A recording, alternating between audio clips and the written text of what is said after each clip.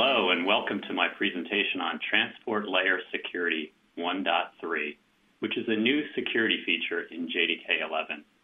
My name is Sean Mullan, and I'm a member of the Security Libraries team at Oracle.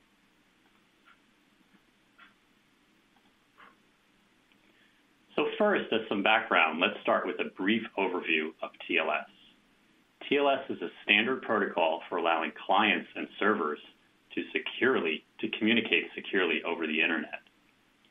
It provides the security properties of confidentiality, authenticity, and integrity. TLS is most commonly used by web browsers and web servers to secure data sent over the internet.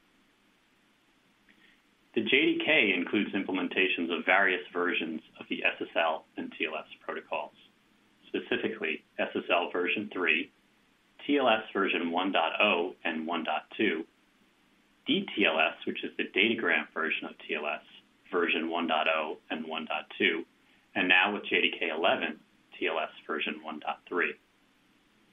Note that SSL v3 is widely considered insecure and unsafe to use and is disabled by default in the JDK. When using TLS in your Java applications, you can use the javax.net and javax.net.ssl packages in the java.base module. These are lower-level APIs for using SSL and TLS and are often referred to as JSSE or the Java Secure Socket extension.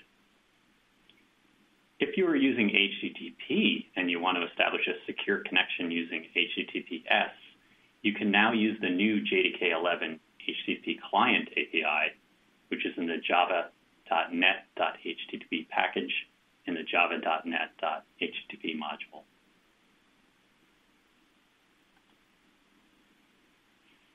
So why do we need another version of TLS? Why do we need TLS 1.3? Let's take a brief look at some of the issues that these protocols have had over the years. First, SSL v3 had multiple vulnerabilities and is formally deprecated in RFC 7568 it should no longer be used in practice. The TLS protocols have had many challenges over the last 20 or so years. RFC 747 gives a really good summary of these attacks and is interesting to see. TLS versions 1.0 and 1.1 are both now quite old and are rapidly being phased out. TLS version 1.2 is the current TLS best practice but it itself is also fairly old, about 10 years old. So there was general consensus that it needed to be updated with more modern and latest crypto practices and, and advancements.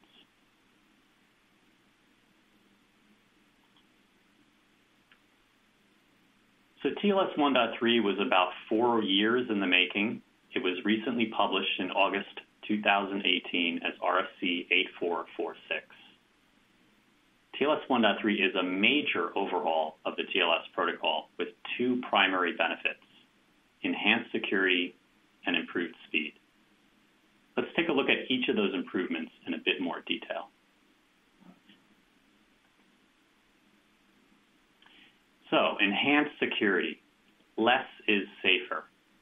TLS 1.3 removes support for outdated cryptography which improves the security and makes it less likely a session can be broken because of an insecure cipher suite or some other form of weak cryptography that was used. The removal of the outdated cryptography includes such functionality such as static RSA and Diffie-Hellman key exchange, CBC mode ciphers, MD5 and SHA-1 hash functions, triple DES and RC4 ciphers, and arbitrary Diffie-Hellman groups.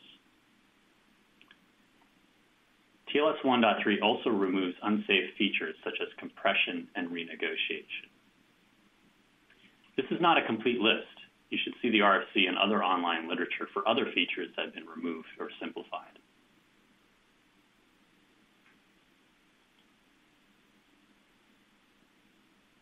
In general, TLS 1.3 supports fewer and more modern crypto algorithms. It adds support for RSA, SSA-PSS signature algorithm, the ChaCha 20 and Poly 1305 stream ciphers, the X25519 and X448 elliptic curve Diffie-Hellman key agreement mechanisms, and the Edwards curve digital signature algorithm. All of these are more modern cryptographic algorithms that are more efficient and more secure.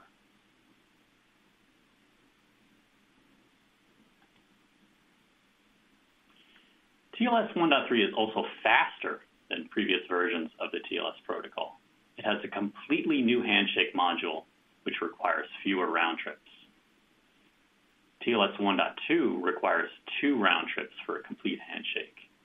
However, TLS 1.3 uses one round trip by default, and optionally with pre-shared keys can use zero round trips.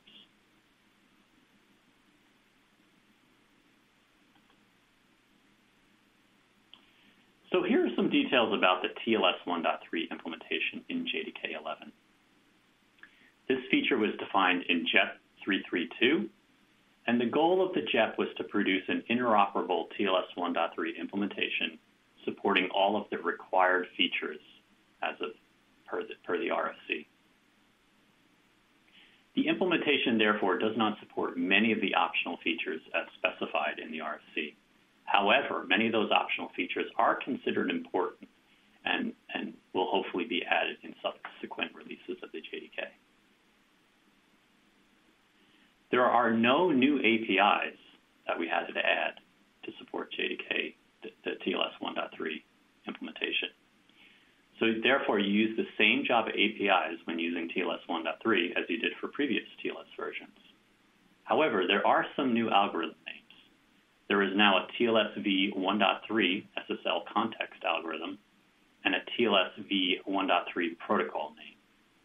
And there are two new cipher suites, both of which are requirements of the RFC. There is one new security property named jdk.tls.keylimits, and you can use this to limit the amount of data an algorithm may encrypt with a specific set of keys.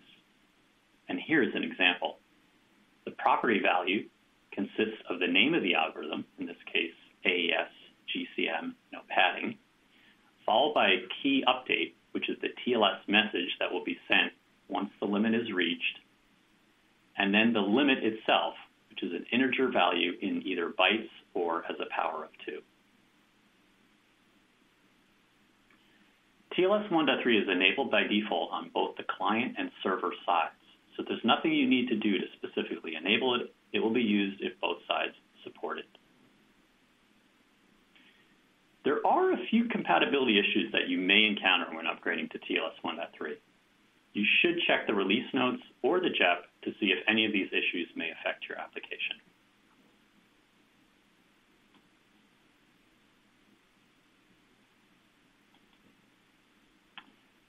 So next steps. Uh, we encourage you to download JDK11 at the following URL, www.oracle.com slash java download. Uh, you can also join the OpenJDK at that website and follow us on Twitter for more information at OpenJDK handle or using hashtag Java11. Or you can also follow me at my Twitter handle, Sean J. Mullan. I often tweet a lot about Java security, so it's a good way to keep up with uh, what's happening in that area. Thank you.